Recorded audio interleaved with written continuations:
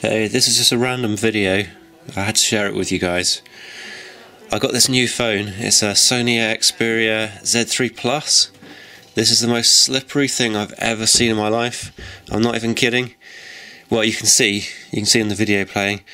Uh, just look at it start moving. I thought I was going mad. I was putting it down, and it would just go like hide somewhere.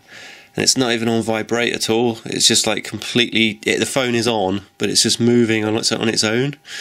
It seems to be like most surfaces. It just slides all over the place. Uh, this was the uh, coming up. I think it's this bit now. This was the flattest bit of the armrest, and look at it. It still starts sliding.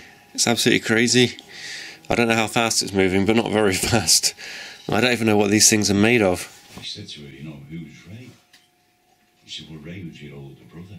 It was in fit novel, Myra Matthews. but he never was hmm. told. He never got that letter. Good God. Hmm. It's just a shame.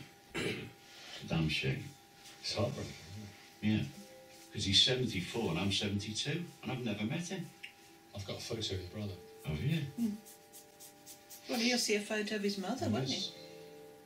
Oh my God, he's like me. Who's he like? He does look like me, doesn't he? Mm, mm.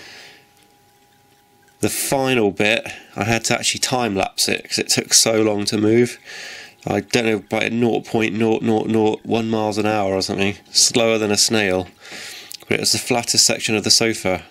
It's just so creepy watching it move.